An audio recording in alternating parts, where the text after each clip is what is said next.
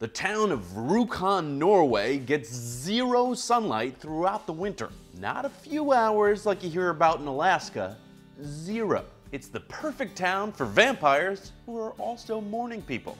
Hey guys, I'm Patrick Jones for Buzz60. The town's jammed in a valley between mountains that don't allow the low-hanging winter sun to shine on the people.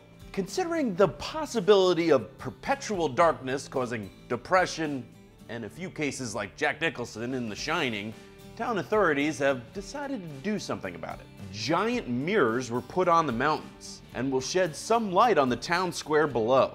Officials are hoping the mirrors are their version of Glinda the Good Witch, telling all the town folk to come out wherever they are.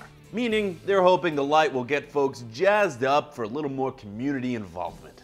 People who live near the lights must be thrilled. Their property values have to be through the roof, being near the only drip of sunlight for six months and all. Buzz 60, now you know, pass it on.